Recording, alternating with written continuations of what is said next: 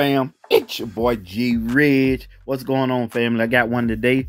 I'm gonna make. I got some juicy steak. I'm gonna put on the grill. Yes, sir. And I'm gonna cut some zucchini and squash and some uh, Brussels sprouts and cut them up and put them on the grill as well, family. It's going down today.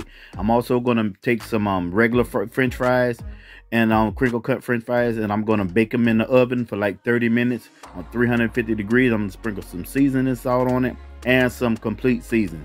All right, and we're gonna make a rub for our steaks, okay? All right, as you can see, I'm starting to slicing and dicing right now. Yes, sir. It's a nice little, quick little recipe. As you can see, I have some corn back there. Remember I cooked that corn yesterday? So I saved that corn, all right? The corn is already done, so I'm gonna put that on the grill as well. I don't want to waste no food, okay? So we're gonna eat good tonight, fam. yeah sir. Stick with your boy.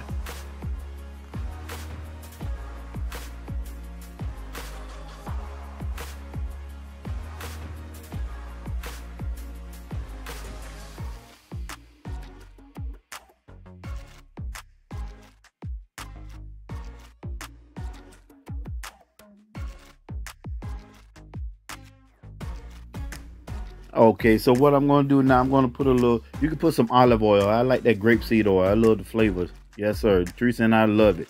Okay, I'm gonna put a little uh, uh, garlic salt on there.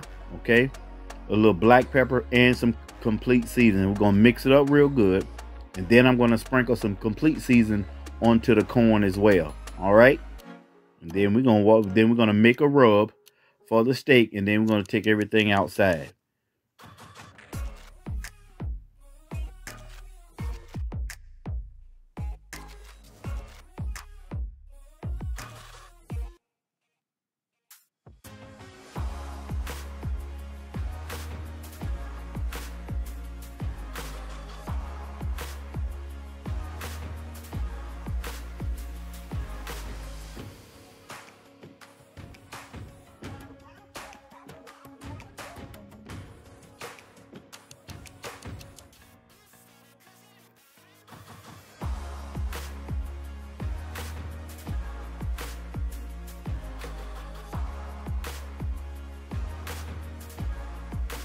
All right, so here we go with our rub. We're gonna put a little sea salt in this one here. Yes, sir.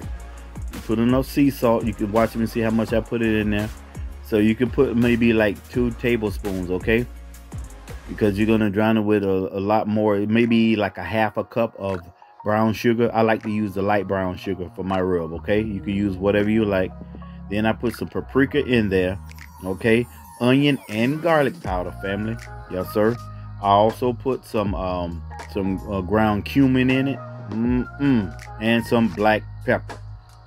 All right, we're gonna keep it nice and simple. We're gonna mix it up real good, and then we're gonna make sure when, when we get outside, you'll see that I'm gonna coat the steaks on both sides real good. Okay, and before you put it on the grill, you want to let it sit like three minutes. That'll help the season stay onto the. It'll it'll just oh man, it'll just soak right down into the steak. All right. We're gonna grill these things right on up. That's the ground cumin. Right. There's several different types of rubs you can make on your own. Stick with your boy.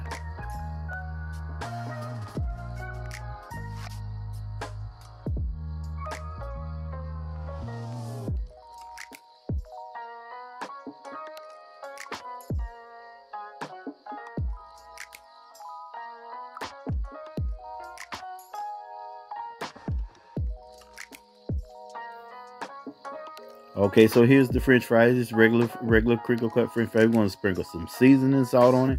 I had put it in an oiled pan, and I put the pan at 350 degrees, and I just baked them for 30 minutes, and it was ready. Yes, sir. Go ahead these steaks good and dry. As you can see, they cut real good, family.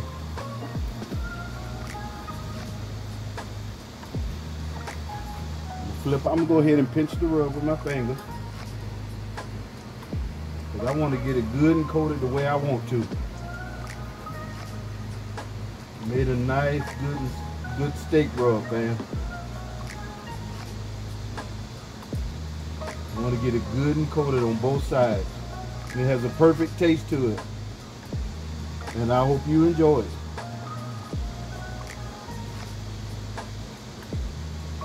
Ain't nothing like making your own little seasoning, fam, the way you can enjoy it the way you want to. You know? Alright? So what I'm gonna do is take my hand, I'm gonna pat it in there. And we're gonna do it to the same the same thing on the other side. Look at that, nice and seasoned. Okay.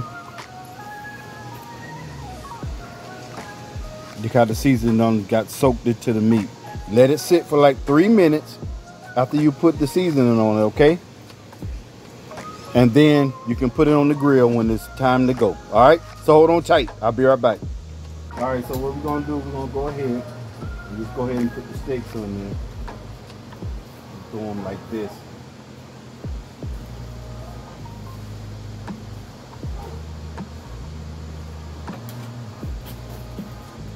Now you know this corn is already done. We're gonna go ahead and just roast it a little bit on the grill.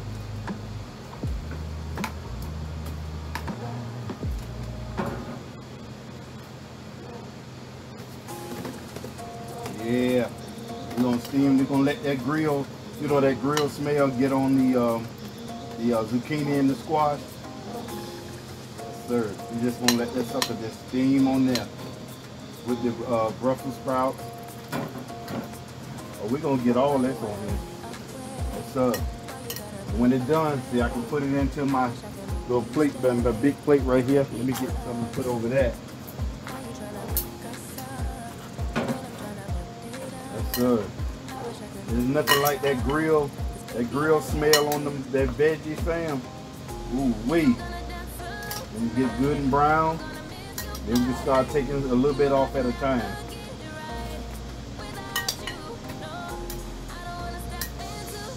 Now right here, I have um, just water and the complete seasoning in here, no salt.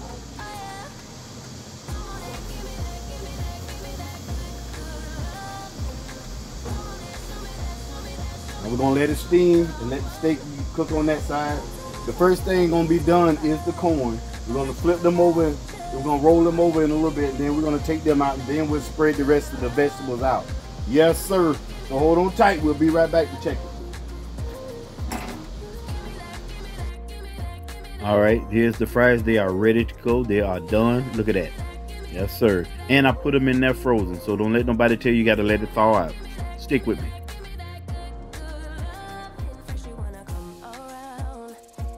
All right, fam, let's check it. Get on going in a minute. Yeah, that look real good right there, fam. Look at that. You see all the juiciness in it. You see it's cooking real good. Those are the steaks. Here's the veggies. They still, look at that. Ooh.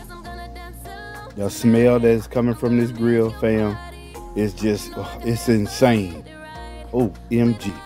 We'll be back. And bam, there's my finished plate. Ooh, fam, look at that. Look, you see the juiciness? juiciness and the integrity of the steak. Yes, sir. The grilled uh, zucchini and squash. Oh, MG, the french fries. And I put a little A1 sauce on the side. I love y'all to life. G Rich out. In your mind.